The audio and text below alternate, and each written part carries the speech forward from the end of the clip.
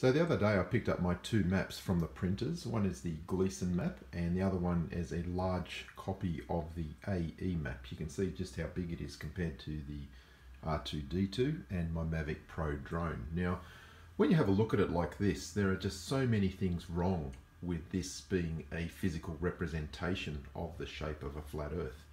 If you understand that these maps are actually projections from the globe you can understand why there are so many distortions of the continents south of the equator. Where the mistake lies is when people try to tell you that this is actually what the physical earth looks like because there are so many mistakes with it and what I plan to do in a series of videos is just identify some of those aside from obvious things such as the ridiculous width of Australia compared to the USA and different flight paths that just simply don't work correctly on this map. I'm going to also look at the motion of the sun and I did that today using my Mavic Pro drone just by fitting a small ping pong ball on top and the experiment was to simulate the path of the sun moving around the equator as it would on the equinox and being viewed from a position of Sydney Australia. Now, I realise that many flat earthers have given up on this model, and in fact, there are many flat earthers who have debunked this model. So these guys have really done their homework. But there are some people who are still clinging to this map as being the physical shape of the earth, and it's just ridiculous. And to be honest, when I first saw this map 18 months ago and somebody said that's what the earth looks like, I thought it was a joke until I realised they were serious. But let's consider the more common model where we have a 32 mile sun circling 3,000 miles above the Earth. And let's have a look at how we can simulate that with a scale model with the drone carrying this sun around and seeing if we actually do get a sunset. So for this experiment, the sunset experiment on the AE map, we're going to use one degree of latitude as being 69 miles in distance, that is 60 nautical miles.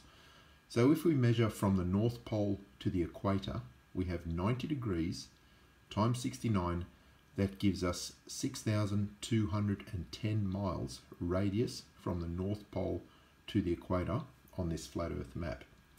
From the North Pole to Sydney, Australia, Sydney, Australia is 34 degrees south latitude, so that's 90 plus 34 gives us 124 times 69, that is 8,556 miles from the North Pole.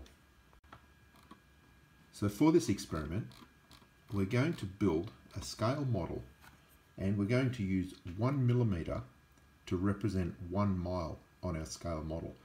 For this standard AE flat earth model, they tell us that the sun is 32 miles in diameter. So on a scale model, that would be 3.2 centimeters diameter, about the size of a ping pong ball.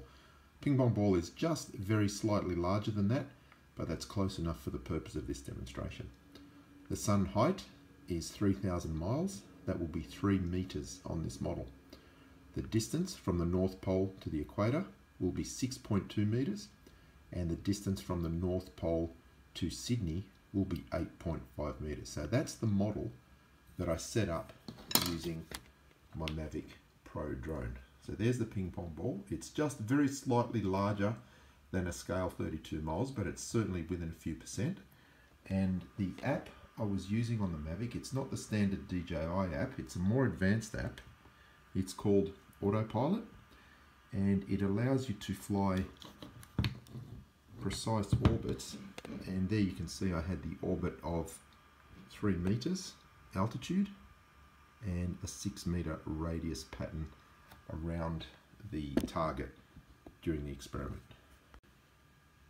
And you'll see this in the video shortly, but just to explain the experiment, I measured 8.5 meters with a tape measure to this orange carry case for the Mavic, and that was the center point of the orbit and I was also able to place the camera at ground level and in fact you'll see that I place it slightly below ground level so nobody can accuse me of having the camera well above what it would be on a scale model. It was down at ground level and in fact below it. And as you will see, at no point did that sun disappear during this experiment. So there is no sunset on the AE flat earth model. So I'll just show you the setup here. It's an 8 metre tape measure, measuring out along the cricket pitch, and then I've got the case about another 50 centimetres beyond that. So 8.5 metres represents 8,500 miles, which is the correct distance from the North Pole for Sydney, Australia. So we're simulating the view of the sun moving across the equator, around the equator, as it would on the equinox, as seen from Sydney, Australia.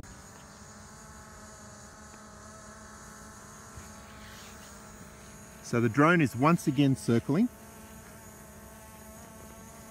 and it's circling at a height of three meters and a radius of six meters around that orange case.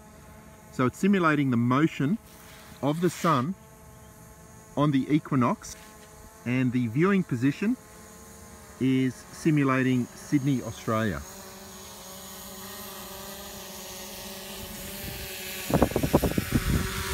So there's midday and then the, the drone is going to move away. And what we're looking for specifically is will the sun appear to set on this scale model. So what I'm going to do is just make sure that we're not cheating. I'm going to put the camera low enough so that that orange case disappears. And has the drone disappeared? No, we can still see the drone, which means we can still see the sun. So even though I've got the camera low enough that it is below ground level, we can still see the sun. So there's no sunset on a flat earth. Let's let that come around again.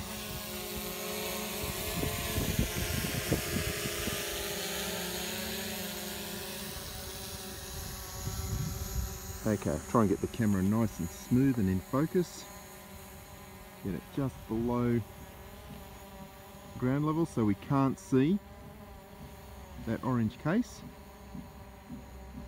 and yet we can still see the sun.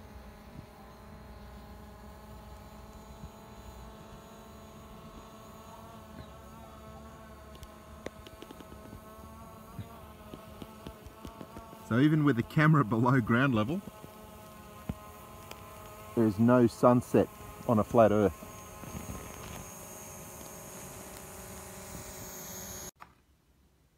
So as you just saw in that demonstration, even with the camera below ground level so that we could not see the orange case, at no point did we lose sight of the drone and the sun. So on the AE model with a 32 mile diameter sun circling the earth 3,000 miles above the earth from Sydney, Australia, we would never see the sun going below the horizon. There would be no sunset on a flat earth. Now, if you're closer to the equator, the situation becomes worse, and the closer you move to the North Pole, the worse it becomes because you're then always going to be closer to that drone, which means it would be higher in the sky. So there'd be even less chance of the sun getting anywhere near the horizon if you're in the northern hemisphere. Now I do realise that we used 69 miles as one degree of latitude, and I'm aware that some flat earthers who support the AE map will tell you that the circumference of the equator is 24,900 miles. Now, if that is the case on a flat earth, it means we have 44 miles per degree of latitude. That means the distance from the North Pole to the equator is 44 times 90, 3,960 miles. To Sydney, Australia, it's 44 times 124, 5,456 miles, North Pole to Sydney. If I were to model this demonstration using those numbers, it only makes it worse for the flat earth because the drone and the sun would be higher in the sky, even at the furthest distance, there would be less chance that it would actually approach or even appear to disappear behind the horizon. So this is a fairly easy demonstration that proves there would be no visible sunset with a sun doing circles above a flat earth that looked like this.